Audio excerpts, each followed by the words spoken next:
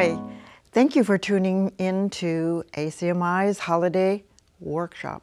Today we're going to be making cards. And the ones that I have here that you see are ones that are made from recycled cards. So if you're like me, I don't throw any of my cards away and this is what I've done with these. I've taken parts of them and then cut them up and then superimposed other materials on top of them other little parts of cards. And the same way with this one.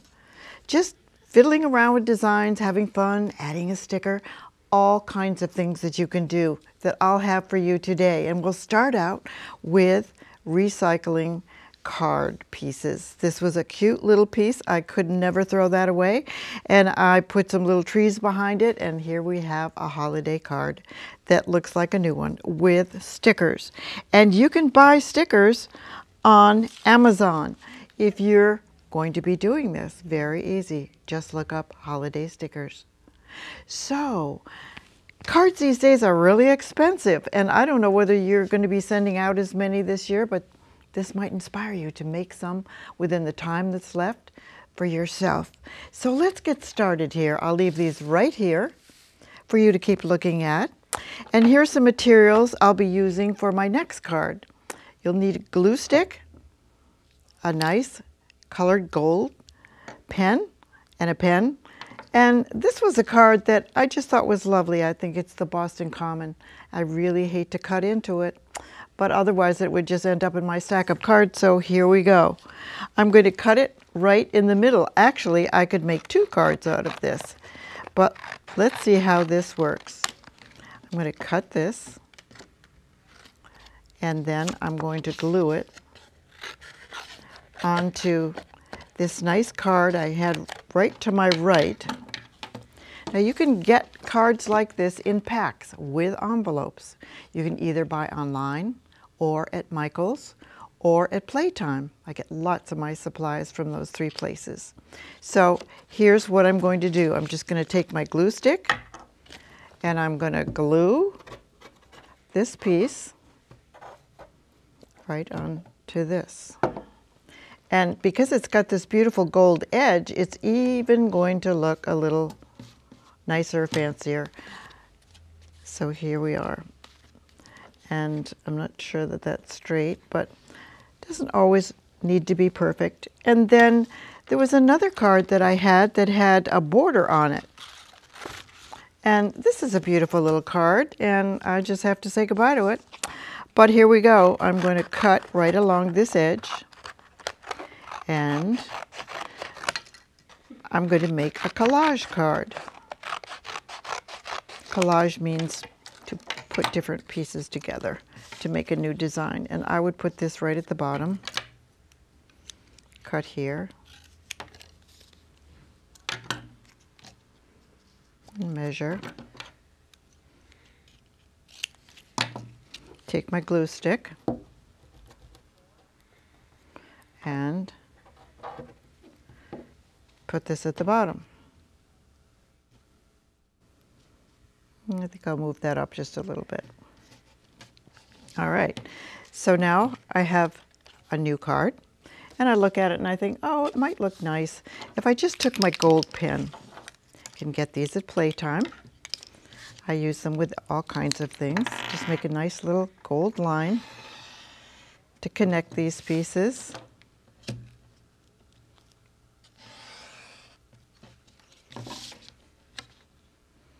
Another piece up here. And look what we have. Boston Garden, featured in a new way for the holidays. Fun holiday card. All right, well, I think you get the gist of this. You just cut up pieces, take parts, add lines, add whatever you want, and then you might like to take a sticker and, or even I have a little snowflake here that comes in this set of stickers. Let's see if I can get this off. Uh, that one's not coming. Let's go for this one. I don't know what's going on here. Okay, here we go. So here's a nice little snowflake. Maybe I'd put this right down here just to give an added touch. So some of your friends will know you fussed a little and you made them happy with the new design. So this is my idea for recycling cards, using old ones, making collages, making setups, adding stickers, whatever you like. Just have fun playing with this type of card and it will be very, very inexpensive for you. So now we're going to move to another card, which will be fun, a whole other thing. So hold on. All right, so here is a second set of cards that we can make. And these I'll call my reindeer cards. I just loved it when I found this beautiful handmade piece of paper. If you hold it to the light, I wonder if it shows through. They're beautiful reindeer, little ones and big ones. This is at Playtime. And they have other printed pieces of paper that are just beautiful. So I saw this and I wasn't sure what I would do. But here are examples of what I did do. And this is one, a little reindeer with a little ribbon through the bottom. It, when it stands alone, it's just not quite enough. So I thought, add some details. So I did. Here's another one, just a plain one with writing at the bottom. Very, very simple, but sweet. And then this one, two reindeers. And I think, reindeer, yep. And I think I might put a few more little accents in there. So let's see how you do this. It's just a little bit fussy, but it's worth it. Because if you send this, trust yourself that no one else will have thought of this idea. Just you. So I'm going to cut from this piece one of the reindeer. Now if I put this on this card, and these also I think came from Playtime in a whole set. If I just put it like this, it just wouldn't look that interesting. So how do you get the nice effect? Let me do this. I'm going to cut one other small reindeer to go with this, and I'll show you what you do. It's a little bit fussy, but it's worth it. What you do is you take the edges and you find an area where you can pull it and it almost looks like a little woven piece of cloth. This is a little fussy, but these pieces that are left are going to be used. Nothing's going to be thrown away. And I'll show you how. So I pull the edges like this, so it looks like it might be a little piece of cloth, not just a cutout. That looks just a little bit better when I put it on here. See? And then what you try to avoid is having angles because they're kind of hard to pull away. So you just take your nail and you pull. And watch where the reindeer is if you get this because you don't want to pull off one of his legs or distort what he looks like. So here we have some nice edges. Sometimes this paper is so stiff it's really hard to pull, but this is good. I'm glad. And then here we go, this little section and at the top of his horns.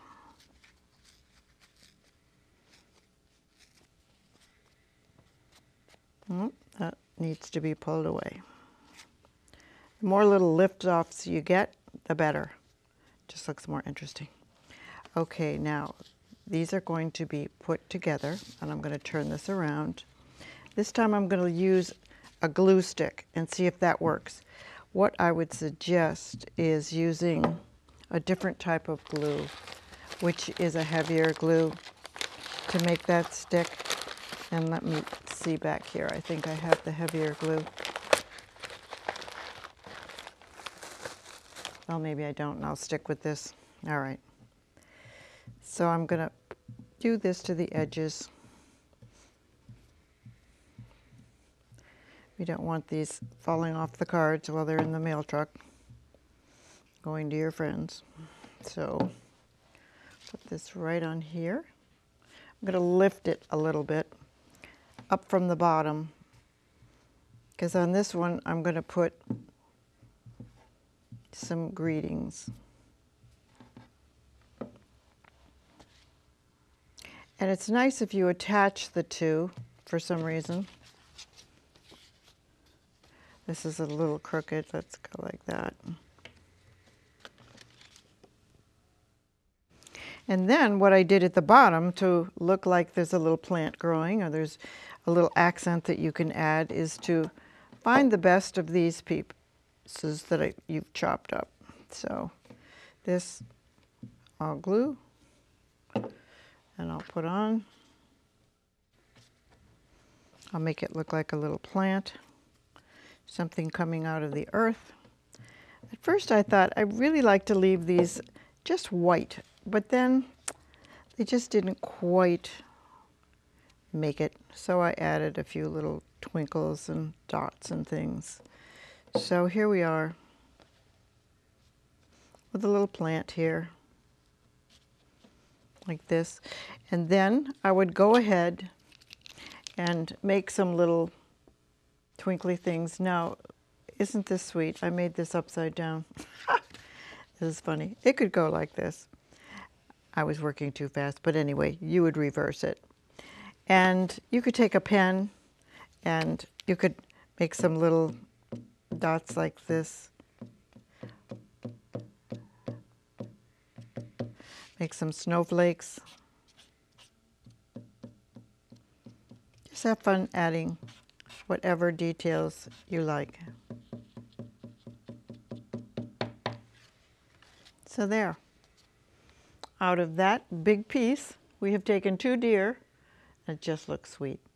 And you might like to add, if you um, have some glue, and then put on sprinkles and twinkle this up, but here you have the reindeer cards. And if you like to add some lettering on the outside, that's a possibility.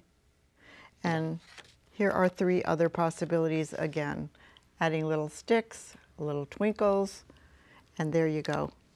With something that's kind of original.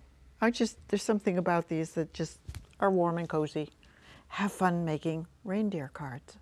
Stay tuned. There's a third kind of card we'll make that are really easy, a little fussy, but easy. Okay.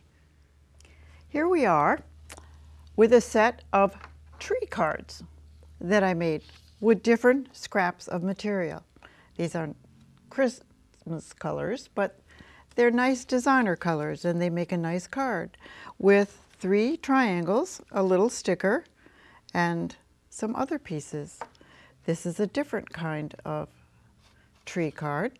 Again, just by cutting triangles and adding details. And this is, was made the same way and so was this and this. Now this was a mistake, and I'll show you at the end what I did to resurrect this card. And I thought, wow, this is kind of fun. The new way of making the card stand up. Okay, so here we go. So first, you need to have nice scraps of paper.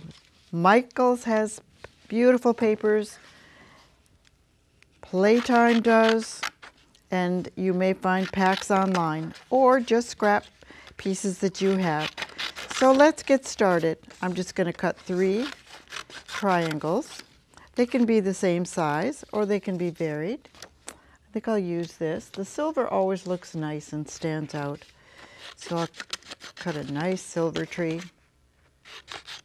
I'm used to doing this. You may need to use a ruler I think we lost that guy. We'll go after another one. Here's a silver tree. And they can be placed all at one level or you can vary them however you want. It is your card and your design. Don't think I'm going to put in a black tree. I'll leave that for the stems. But this is always a nice design. So we'll cut this is the third triangle. I think I'll put that right there. So with this paper, because it is stiff, you're going to want to use kind of an Elmer's glue. This is a craft glue. So you just glue the edges. Sometimes it takes time for this stuff to work its way to the nozzle, but we'll get there. There we go. Okay, make sure your edges are nicely covered. I'm just going to go quickly on this. I'm going to start out with that. I would always use that kind of glue when you're making this card because you don't want these pieces to fall off. But I'm going to switch to this, my glue stick. And this might work. I just have always used the other. But I want to do this for you so you can see quickly how this comes about. Now this probably will take, I bet, three minutes to make. And if you have friends that you still want to send cards to, you can definitely do this without thinking it's really time consuming. I cut up little pieces of black for contrast. One, two, and if you see your pieces are coming up off the piece of card, just put your hand and make it stay down. Here comes the third one in the middle. This is so easy. It's just fun. If you can tolerate just a little bit of a mess so far, this is what we have. But let's doctor it up a little bit and make it a little bit more festive. So what can we do? We can take some glue and we could, let's just try putting some little dots around, like little snowflakey things. And let's see what happens when we put sprinkles on it, little sparkles.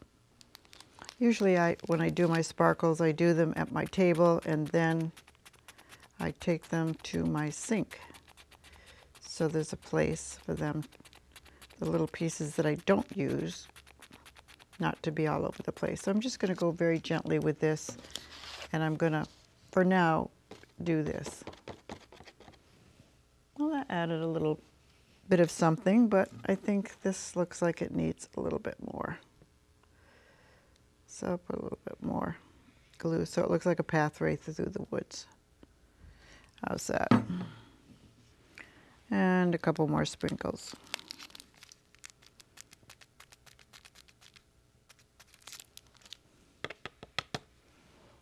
Okay, so far so good. Let's put on, let's choose a snowflake. These I got at Playtime. I think they have them at Michael's. But it's fun to vary your designs with snowflakes or the holiday symbols. You might be sending this to somebody who doesn't celebrate Christmas but just likes celebrating the holidays. So isn't that fun? This did not take that much time, did it? Nope. And then I want to show you this. This card I made and I started doing all kinds of lines and I didn't like it. So then I put the black over the lines and I thought, hmm, I've saved that part of it. But then I realized I had made this upside down and I couldn't open the card. It opened the wrong way. So I thought, well, let's just cut it. And the way I saved this card was to take the top. Let's pretend that maybe this same thing happened here. Let's see if I have the strings.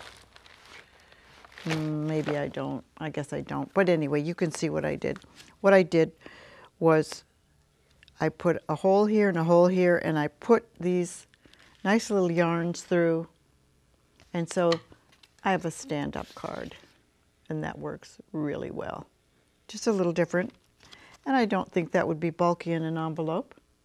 But just variety is just so much fun. So have fun making little triangular tree cards. Try that. Now I have one more thing for you, so stay tuned. All right, how many of you have switched from giving gifts to giving cards, gift cards to people? Well, I kind of like to give tangibles, but I know it's a popular thing. So this is a wonderful way to give a card in a little beautiful packet that you've made. And here's the gift card inside. And you can put the person's name on. But I wonder, how do you do this? How do you go from this to this? Well, I'll show you. Let's take this apart step by step. I'll put the card over here. I'll undo this and you will see what I did. Here is a circle. When I first made this, I thought, oh my goodness, this is a trick and a half. I'm not sure, but it's really not that hard. So let's get started. I'll show you step by step how to do this. All right, here's my circle. I took a bowl and I cut, I traced the circle from the edge of the bowl. Then I put two pieces of paper together, wrapping paper, face to face. All right? So let's do that much on a smaller scale. I'm going to just take my glue stick and I'm going to go around here. I'm going to put these two guys together and hope they will stick. Okay, and of course we want to have the decorated side on the outside. So here we go. Here's this side. Here's this side. Next step is you fold your little packet in half. Now remember, I am just making this on a smaller scale to show you. Then you fold one side over to the other like this. And I will hold this up so you can see it. Mm-hmm. All right? Like this. Now this look like this needs a little trim. So right now I'll just give this a little trim. Now, I'm not going to stick the card in that way. I've got to open up this shape and I'm going to cut right on the folds here and here. Then I'm going to fold my little packet back up like this. It's kind of like an origami piece. Now this is hanging down. This, you wonder, what are you going to do with that? Well, what I'm going to do is I'm going to fold it up I'm going to fold it like this and I'm going to fold it to the back. And guess what I have? I have a nice little structure, a little design at the bottom. So I'll glue this so this will stay here.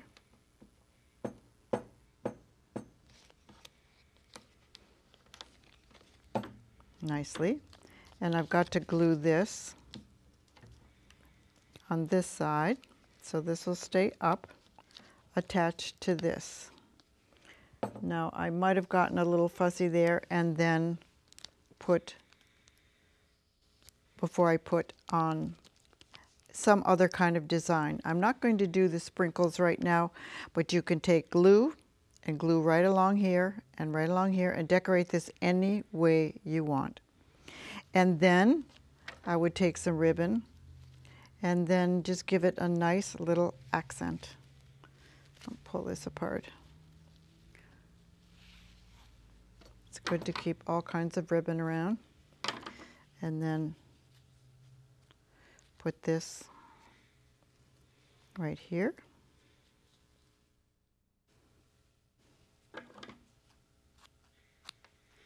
Trim the edges Today I'm just going to use this kind of glue, but I definitely would use the heavier glue. Put that right at the bottom. And there you have a cute little packet or a pocket for a gift card. Now, is that not cute? I think everybody in your family would love one. So this is the little piece that we will end with today. But next week, there'll be one more workshop, and it's going to be all things angels.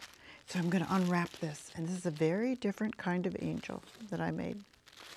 I live on Spy Pond, right near the bike path, and I love to pick up sticks and collect natural materials. And I do a lot of things with fairies and gnomes and trolls, and I just am always looking for wonderful pieces. So I just thought I wanted to make an kind of an earthy angel this year. So next week I'll show you how I made these. Is she not cute? And a friend gave me a wreath that I took apart and I saved all these little pieces to make for the little wings and the body. And then this little face is made with Sculpey clay. I'll show you how to do that. And then she has on a little acorn hat.